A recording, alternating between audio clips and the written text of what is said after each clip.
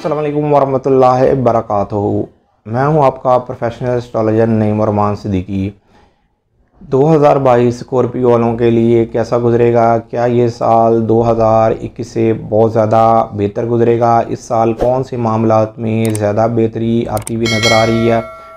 और आपको इस साल क्या काम करना चाहिए, जिसकी वजह से आपके मामला में मज़ीद बेहतरी हो और 2022 के अंदर आपको ज़्यादातर कामयाबियाँ हासिल हों।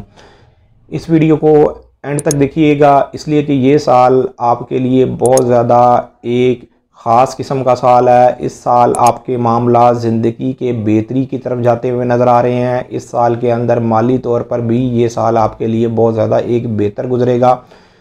2021 से बिल्कुल मुख्तलिफ़ किस्म का ये साल होगा। माली तौर पर इस साल आप कामयाबी हासिल करते हुए नज़र आएँगे और माली परेशानियों से इस साल आप बच सकते हैं। इस साल के अंदर माली तौर पर फ़ायदा आपको हासिल तो होगा, लेकिन अगर आपने लोगों के ऊपर इतमाद किया और अपना काम ख़ुद नहीं किया तो माली तौर पर इस साल आप नुकसान भी उठा सकते हैं।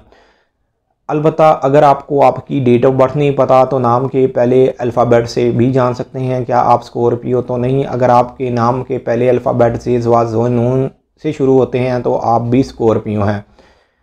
इस साल के पहले पाँच महीने आपके जायचे के फाइव हाउस में जुपिटर ने रहना है। जायचे के फाइव हाउस में जुपिटर के रहने की वजह से ये जायचे के फ़र्स्ट हाउस को, जायचे के नाइन्थ हाउस को सेवन्थ हाउस को और थर्ड हाउस को अच्छी नज़र से देखेगा।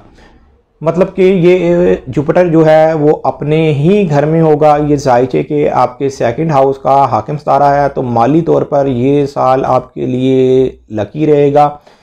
किस्मत के हवाले से भी इस साल के अंदर आपके मामला एक बेहतरी की तरफ़ जाते हुए नज़र आ रहे हैं। ख़ास तौर पर वो लोग जो लोग इस साल के अंदर अपनी पसंद की शादी करना चाहते हैं या मंगनी करना चाहते हैं, उनके लिए भी ये साल बेहतर गुजरेगा। सिर्फ़ और सिर्फ़ इस साल के अंदर आपने जो भी मामला करना है, वो ख़ुद करना है। लोगों के ऊपर ज़्यादा अतमाद नहीं करना। इसलिए कई लोग आपका अतमाद तोड़ेंगे और आपके काम किए में भी रुकावट बनेंगे।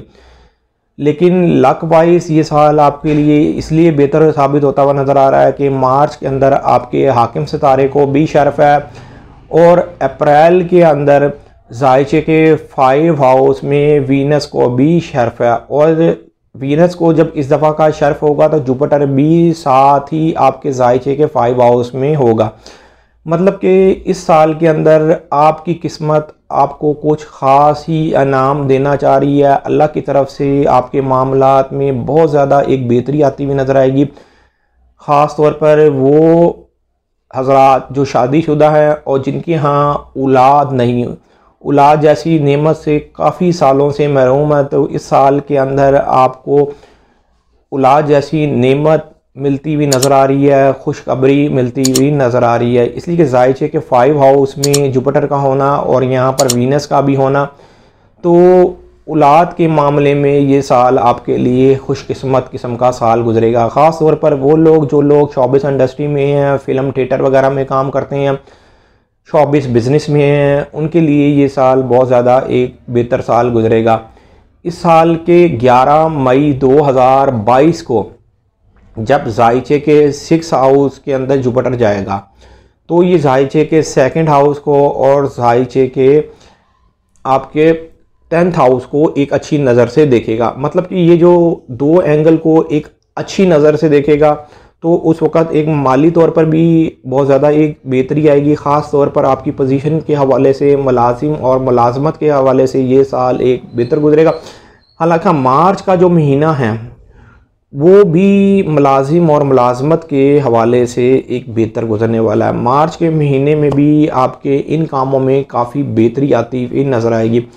अगर आप बाय बर्थ वीक स्कॉर्पियो नहीं हैं, अगर आपके बाय बर्थ जायचे के फ़र्स्ट हाउस में सेटरन नहीं है या सेकंड हाउस में सेटरन नहीं है तो ये साल फिर आपके लिए बहुत ज़्यादा एक बेहतर गुजरने वाला अगर आप साठ सती के अंदर हैं और वो दौर आपकी ज़िंदगी के ऊपर से ख़त्म नहीं हो रहा मैं ये स्कॉर्पियो वालों को इसलिए बात कर रहा हूँ कि आपका मैं ये शमसी हवाले से आपको बता रहा हूँ। अगर आप जिस वक़्त पैदा हुए थे तो उस वक़्त मून साइन आपका कैप्रिकॉन के अंदर या अक्वेरियस के अंदर या पाइसिस के अंदर है।